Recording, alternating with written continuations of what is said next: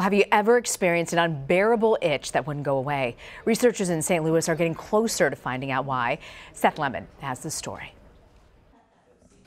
At 81 years old, Don Hodges has battled enemies at war and a bout with cancer. But seven years ago, he started combating an itch all over his body. I went through so many dermatologists that uh, uh, we knew each other by first names and family members and everything, and uh, they just give up. Creams, ointments, and medication didn't help.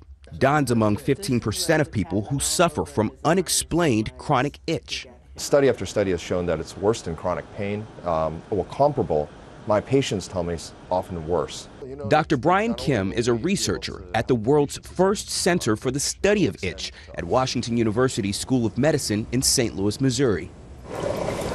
After discovering an itch molecule, scientists expanded their work from testing treatments on itchy lab mice to finding relief for desperate patients. A lot of people didn't believe that it not only was it not a real problem, that it was a problem that we really could solve at the scientific level.